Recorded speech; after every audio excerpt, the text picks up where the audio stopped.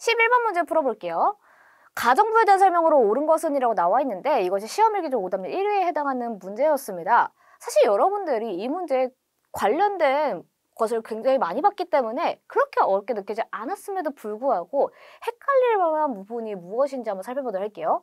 자료가 왼쪽에 나와 있고요. 설명이 등장합니다. 자료는 고종이 가해 수립을 선포한 이후 간행된 달력이다라고 하면서 우리가 아는 그 조성의 왕인 고종이 등장을 합니다. 이 사람이 무엇을 수립했다라고 하니 어, 혹시 새로운 국가를 건설했다라는 내용이 들어가는 것일까? 라고 예상을 할 수 있죠. 그리고 내용을 밑에 보니 달력에는 새로운 연호인 광무가 명시되어 있고 고종의 황제 즉위일이 기재되어 있다라고 나와 있네요. 그래서 가는 이 달력을 간행하여 자주 독립 국가로서의 면모를 드러내고자 했다라고 나와 있습니다. 고종이라고 하는 왕은 조선의 왕이었어요. 그런데 아건파천 이후에 황궁을 하면서 국가의 이름을 바꾸고 정치 형태도 바꾸었죠. 바로 대한 제국으로 바꾸었습니다. 황제 체제였어요. 그러면 이 과정부에 대한 설명으로 옳은 것은 대한제국식의 사건이나 아니면 이 정부의 정책이 선지에 등장하겠죠. 바로 1번을 보니까 답이 등장합니다. 지계 발급이 나와요.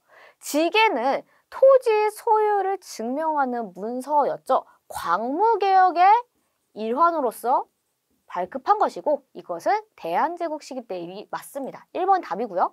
2번 별무반 조직이 등장합니다. 별긴과 헷갈리면 안 된다고 누누이 강조드린 바 있습니다. 별무반은 고려 윤관이 여진적 토벌을 위해서 설치했던 특별 부대였어요. 별기구는 조선 고종 때 만들었던 신식 부대였죠. 지워주시고 3번 볼게요. 대가야를 병합했대요. 금강가야 병합이나 대가야 병합 모두 신라와 관련된 선지입니다. 구체적으로 따지면 금강가야는 버풍왕, 대가야는 진흥왕이었죠. 지워주시고요.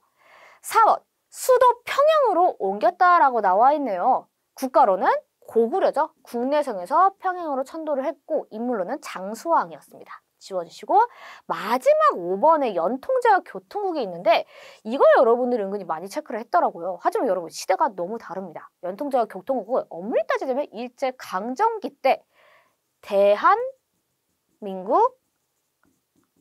임시정부의 활동 중에 하나였습니다. 그래서 5번 지워주셔야 되고 선지에 나와 있는 단어가 다 모두 결정적인 힌트가 될 수 있는 키워드이기 때문에 여러분들 반드시 만약에 내가 하나라도 헷갈렸다라고 한다면 복습을 해주셔야지 나중에 이제 고3 수능까지 대비를 할 수 있을 겁니다.